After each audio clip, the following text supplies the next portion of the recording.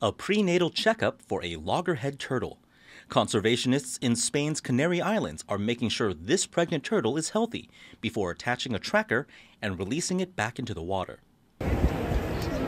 These conservationists are based off northern Africa, but they've been tracking developments in the northern Mediterranean Sea where they found more and more turtles nesting. It used to be quite rare for loggerheads to nest there, but that number has grown a lot, and they have a theory why.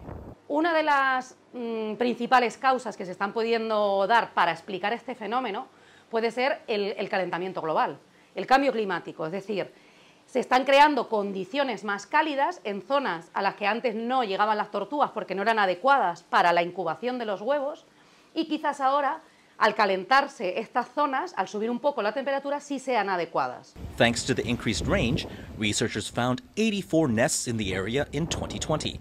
That's up from an average of fewer than three a year about a decade ago.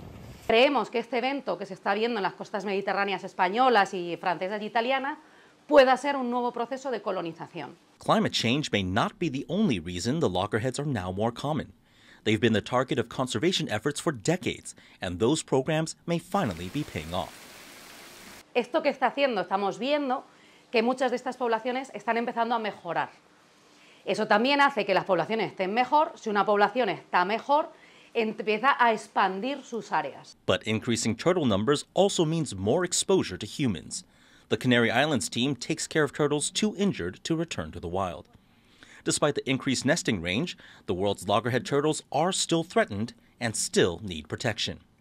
Leon Lien and Eric Gau for Taiwan Plus.